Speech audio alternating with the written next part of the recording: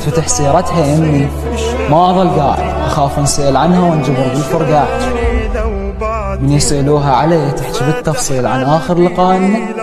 وذاك يوم الزعل صعبة ينحسب من ضمن عمره المشكلة بهذا الضياع الجاي أعيشه هي تدري سؤالها نرجع تاني؟